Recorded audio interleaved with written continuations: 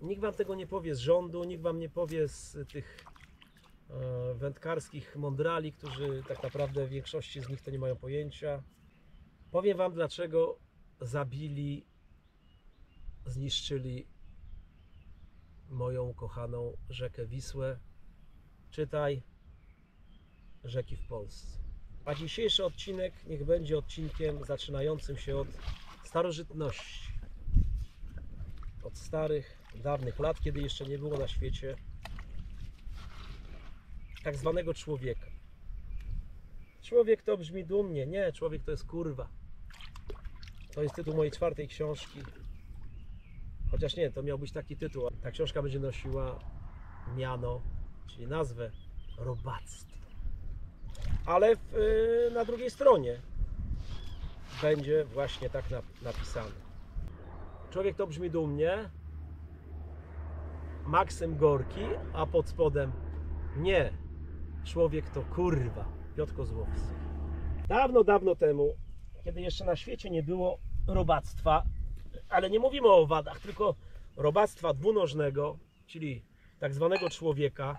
Bardzo mi przykro, ale ja nie mogę nazywać e, tego robactwa ludźmi, bo to nie są ludzie. Wśród y, ludzi, inaczej, wśród tych tworów, które dzieli się na robactwo i ludzi, jest trochę ludzi. I kiedy jeszcze nie było robactwa na ziemi, to pamiętajcie, że te rzeki, cieki wodne, e, jeziora, morze i tak dalej, one nie miały przeszkód, żadnych przeszkód, jedynie naturalne, zapór i tak dalej. I te wody, oczywiście niższe były wyższe, one, na przykład jeśli chodzi o rzeki, nie miały obwałowań.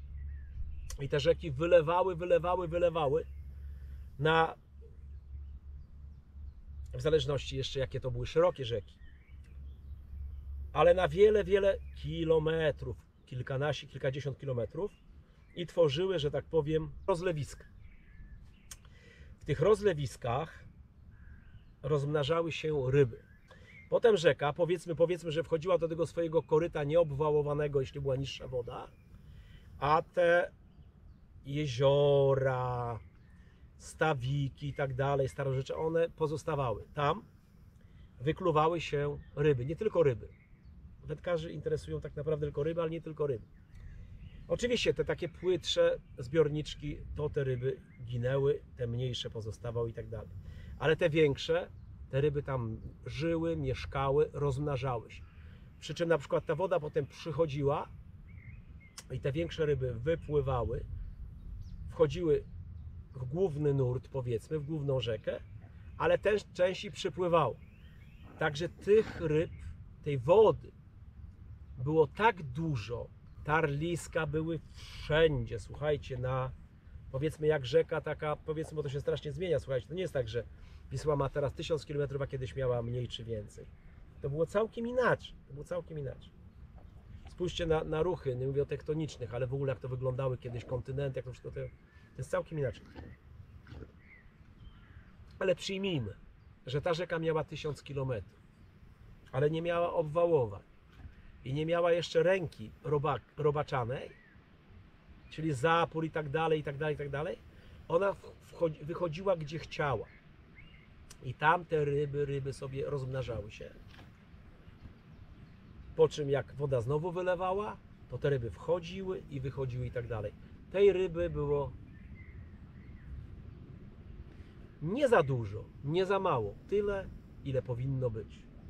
To byt robaczany mówi za dużo ryb, za mało, za to są oni nie mają pojęcia. Ale będę wam w tych kolejnych odcinkach udowadniał, że byt robaczany, zwany przeze mnie robactwem, a przez samych siebie jakiś robal leci. Nazywane ludźmi. To nie są ludzie. Buda! Prigorzyn! Zobaczycie jeszcze, jak wielu z Was będzie wspominało, Boże, Putin to był łaskawy dla Polski. Zobaczycie GRU. Zobaczycie dopiero co to jest. I tak było przez wiele, wiele milionów lat. Niewiele się zmieniało. Owszem, zmieniało się, że były jakieś zlodowacenia, jakieś ruchy tektoniczne, jakieś zapadliska, coś, ale to nawet jeśli coś się zwaliło, czy coś się, że tak powiem, naprawiło, to ta, że tak powiem, populacja tych ryb była zawsze konstans. Dlaczego? Dlatego, że organizm, czyli natura, no i Robal mnie tam jeździ, słuchajcie, z tym. Poczekajmy, aż ten Robal przyjedzie. A nie, to nie przyjedzie, to piła łańcuchowa. Przede wszystkim, tak jak powiedziałem, organizm sam sobie nie zaszkodzi. Natura nigdy sama sobie nie zaszkodzi. Nawet asteroida, czy jakiś tam meteoryt, czy meteor, no jest różnica, który jeden spadł, drugi nie spadł, ale nieważne, bo potrafi sobie kulka lecieć i wybuchnąć w powietrzu i też zabija, też zabija, więc w zależności od jej wielkości no i środowiska. Jeśli mamy masę wody, nie mamy e, ludzi, którzy mm, eksploatują tą wodę, nie mamy korporacji, które eksploatują tę wodę, te wody, nie mamy zatruć i nie mamy wiele jeszcze innych czynników, to ta ryba będzie cały czas. Czy będzie jakaś katastrofa, powiedzmy, ekologiczna, w sensie takim, że natura sama na coś takiego dozwoliła i to są rzeczy cykliczne i naturalne. Czyli na przykład zawala się jakiś tam część ziemi, ta rzeka, wiecie, no, wpływa, w, nie wiem, e, w grunt, pra, prawda, i ta rzeka się zapada, po czym zapada się, nie wiem, jakieś wielkie miliardy, miliardy, miliardy, miliardów ton, potem to idzie i, i całe życie zabija, po czym to wraca do normy, ale z tych miejsc, gdzie nie było obwoływanych i tak dalej, ta ryba wraca i za chwilę, za 50 lat mamy to samo. Rozumiecie? Poza tym są dopływy. E, Powiedzmy pod prąd nie doszedł ten syf. Tysiące dopływów, bo te rzeki są wszędzie i żadne nie są wałowane. Na przykład Wisła kiedyś, powiedzmy ma tysiące dopływów i rzeka jest, ta Wisła jest kil- kilkukrotnie szersza, kilkukrotnie głębsza i ma e, wylewy na kilka, kilkanaście, kilkadziesiąt kilometrów i wpływa do niej dziesiątki, setki, jak nie tysiące e, rzek, które mają też dopływy mniejsze, siurki takie i tak dalej, i tak dalej. Tworzą się jeziorka. Jak to wszystko potem ta woda podbija, podnosi się, to potem z powrotem te rybki wracają i to jest ten. A dzisiaj co mamy? Tych przyczyn, dlaczego zabili nam rzekę, dlaczego zabili nam wody, rzeki, nie tylko rzeki, ale różne cieki i, jezioro jest wiele. I pamiętajcie, zawsze będę powtarzał to do końca swojego życia. Jest tylko jeden powód. Robal. Dla- Dlaczego nie można nazwać go człowiekiem? Dlatego, że człowiek nie szkodzi. Człowiek, owszem, swoją bytnością tutaj w pewnym sensie zajmuje e, i, i pewne rzeczy, że tak powiem, przejmuje. Natomiast stara się, tak jak Indianin, chodził po dżungli i patrzy, jest jakaś małpka, to ją zabił, zjadł, ale ta małpka miała małe, więc te małe wychował. Ale, a dzisiejszy e, robal, czy dzisiejszy e, menel korporacyjny zabije i matkę, i te dzieci. No, no tym się właśnie różnią ludzie od robali. Robal zabije wszystko, człowiek zabije na tyle, żeby przeżyć. No i to jest właśnie też między innymi problemem, że została zabita ta rzeka. Powiedzmy jeszcze, wróćmy do, do, do czasów dinozaurów. Wyobraźcie sobie wtedy, jakie to musiało być. E, Na tym miejscu, gdzie dzisiaj siedzę, jakie to musiały być wody, jakie lasy, jakie, jakie ryby, jakie ptaki, jakie rozlewiska. Ale ja już mówię, do, do czasów e, prze- przejdźmy, kiedy, kiedy już e, narodził się ten, powiedzmy, taki człowiek, który chodził na, mm, który zaczął polować i zaczął meliorować. Od tego, od tego czasu się zaczęło. Czy to jest, czy to jest y, długo? Nie wiem, kiedy były pierwsze melioracje i tak dalej. Jeśli chodzi o, o cywilizacje, takie najbardziej, najbardziej, które my znamy, takie cywilizacje, to są cywilizacje Iran, Irak, około 7000 lat temu. To jest bardzo tak niedawno, bardzo niedawno. Natomiast jeśli chodzi o Neandertalczyk, nie wiem, no żeż. Owszem, oni, oni, ci Neandertalczycy, którzy polowali na ryby, to oni e, mają powiedzmy ten stosunek e, zabijania tej rzeki, powiedzmy o ile ona jeszcze już wtedy była, była tylko w innym zakresie, w innym korycie i tak dalej. Nie wiem, 1 do miliona, 1 do miliarda porównaniu z tymi na przykład z celebrytami obecnymi, z tymi bandytami, e, którzy zatruwają i tak dalej. Kiedyś, kiedyś, kiedyś to były ryby, to były i zwierzęta, i byli ludzie. Ci neandertalczycy, ci ludzie po neandertalczykach, to byli gości. Do głowy by nie przyszło to, co, co robią obecne dzisiaj te, no te ci, no ludobójcy, ludobójcy, rybobójcy. A dzisiaj mamy zamiast tych rozlewisk wszystkich jedną rynienkę, gdzie jakieś tam pojedyncze rozlewiska zostały. No a na odcinku mazowieckim to tak naprawdę żadne rozlewisko nie zostało. No chyba, że, chyba, że przy wyższej wodzie grochale. A ja nawet jako młode dziecko pamiętam jeszcze, ja pamiętam jeszcze jak y, nie było mostu Grota. Pamiętam jeszcze rozlewiska właśnie y, poniżej mostu Grota. Pewnie i powyżej też były. Coś mi już pamięć nie sięga. Pamiętam na Żeraniu jeszcze tak troszeczkę były takie rowki. No i pamiętam na Tarchominie.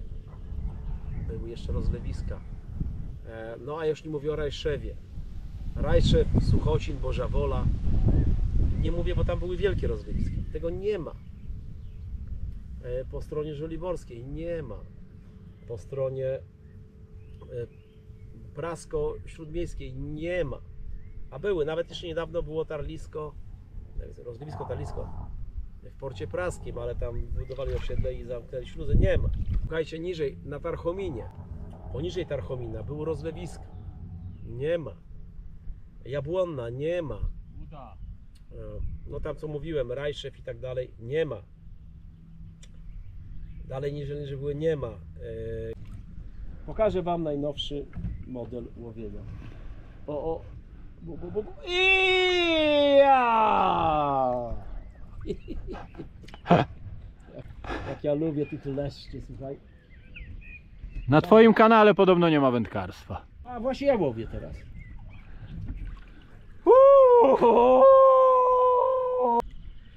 Przybór przyszedł na trzy rąmki. Idziemy zobaczyć na tę przywankę, mi się zarab. A la la i cała sala śpiewa z nami. O la la i cała śpiewa. A i rybą, i rybą grzybów jest. Opieramy wędkę nad wodą. Tak. Ściągamy wężownicę z wężownicy i robimy tak. I raz, i dwa, i legia mistrzoma. Co wy na to? I puszczacie tak op. I to jest przepływanka. I płyniecie razem z nią. To jest przepływanka. O. Warsza... Branie! Oboj! Babura. O! Warszawski Uniwersytet Spławikowania. Pokażę jeszcze raz. Siup.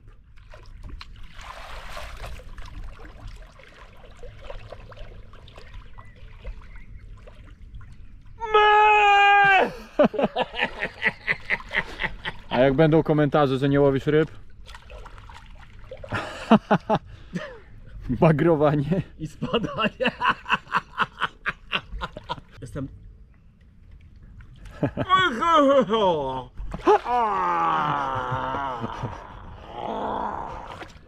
drugą stronę. Co ty jest Fachowców jak słucham. Celebrytów. Ludzie mają szereg pytań do nich. wykładać. Się czegoś nauczymy. Pokażę, sumowe. Pąchała? No i tam widziałem na forum, ja ze Zbysiem pływałem. To- sumów, kiedyś bardzo Tak? znany wszystkim, no taki człowiek, legenda wręcz.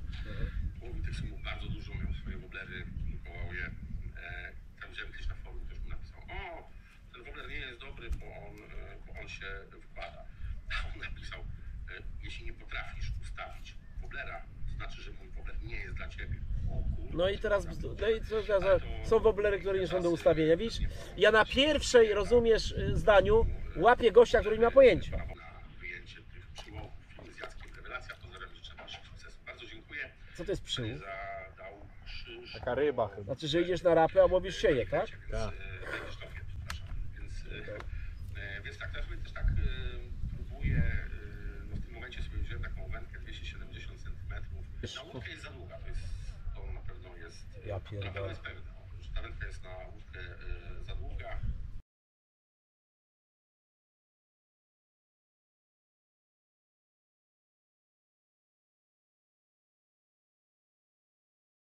Nie, ale no nie, no nie będę słuchał, słuchaj, jakbym słuchał, e, nie no, Dudę, czy Morawieckiego, czy Jacka Decorationa, nie no proszę cię. No. Tak, tak, na, na, na delfiny umy, nie, Jeszcze daj 9 spokój. minut. Jak coraz więcej, pamiętam. O Jezu! O Jezu, z dupy wychodzi. O Jezu, robi się coraz więcej, tak, przez pączkowanie. Jezus Maria, wyłącz to, proszę cię, no. Sumów się robi coraz więcej, no z dupy wychodzą, ty z podpaki, z, no i ty i z napleta wychodzą, no weź go człowieku, wyłącz to. Tak. ze środowiska ichtiologów. Nie ma ichtiologów w ogóle, zobacz. się klimat e, i te sumy się tu tak świetnie czują. Dobra, weź go, wyłącz, proszę cię. No, siedem minut no przecież zobacz co on opowiada, człowieku, zobacz co on opowiada. No. Ichtiolodzy, których nie ma i klimat się zmienia. Ty kosmici, UFO, rozumiesz? No UFO, no człowieku, no, no człowieku. No. Sumów jest więcej. E, Mają rewelacyjne warunki, naprawdę cały życie e, tam są rybały, No. świetnie się czują, e, super.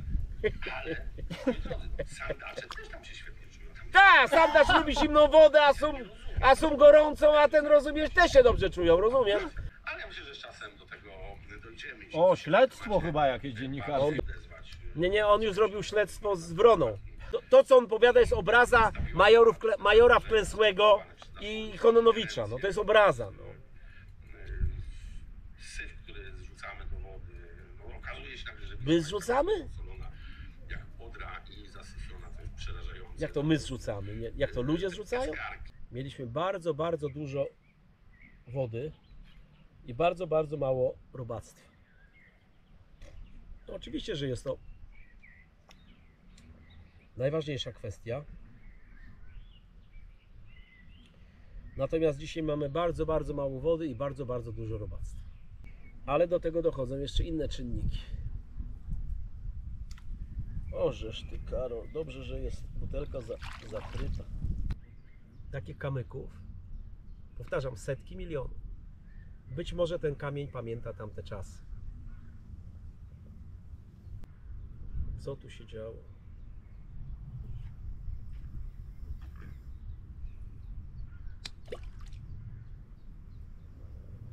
Już zaczynali oprócz zwierząt zabijać ryby, regulować pewne jakieś tam cieki i powiedzmy zawłaszczać i, i tak dalej. Tak było ich dużo i powiedzmy nawet gdy męczyli powiedzmy w jednym miejscu, e, pobierali, łowili ryby, tam na harpuny i tak dalej, i tak dalej, nie byli w stanie tego zaburzyć. Tyle było tej wody. No ale ci ludzie zaczęli się rozmnażać. No i zaczęli to tu, to tu, to tu, to, to z 10 tam powiedzmy tysięcy zrobiło się 100 tysięcy, no i powiedzmy ten tu, ten tam, ten tu, tu, tu, tu. I każdy zaczął tak jakby zawłaszczać te wody. Czyli coraz więcej polowali, coraz więcej mm, regulowali i tak dalej, i tak dalej, i tak dalej, nawadniali i tak dalej. Czyli zaburzyli naturalny ekosystem. Cały czas jednak ta natura była tak potężna i te rzeki, te, te morza były tak potężne, ludzie nie mieli jeszcze statków takich wielkich, zaczęli powoli polować, najpierw na małych łódeczkach, potem na większych i tak dalej. tak. Ostatnie 200, no powiedzmy no 100-200 lat, strasznie technika przyspieszyła. O, langoliery. właśnie, właśnie słychać tą technikę, o której mówisz. I do momentu, kiedy ludzie e, czerpali z tych wód, powiedzmy we własnym zakresie, a nie na jakiś tam. No przecież to, to się zachowuje, znaczy, że wie, on to, nie wiem, to godzilla pierdzi, co to jest? Ale co to za jakaś dzicz, co? Bo Wrona zaczął brzegi murować, betonować. O, no wiem, że wody polskie rządzą i są pod zarządem PiSu, więc jeśli to nie PiS, to kto? Kto? Kto jest nad wodami polskimi i nad tymi y, inspektorami ochrony No, środowiska? no to jak oni rządzą, no to, no to oni, no jak mówisz tak. Czyli PiS. No to jak ty możesz... Tylko, tylko w tym, w zarządach cały. Nie, nie, nie, nie, nie, nie, nie. Ja nie mówię... PZW to siedzą starsi. Ja nie mówię o PZW, ja mówię o wodach polskich. PZW nie ma nic wspólnego z zatruciami wód. Pilnują inspektoraty środowiskowe, środowiska, gdzie są pisowcy i wody polskie, gdzie są pisowcy. W ogóle nie, orientuje w tym, powiem szczerze. No więc PiS zatruwa nam wody. PiS. Wcześniej zatruwała PO, owszem, a teraz, ale mniej, a co nie znaczy, że jest w porządku.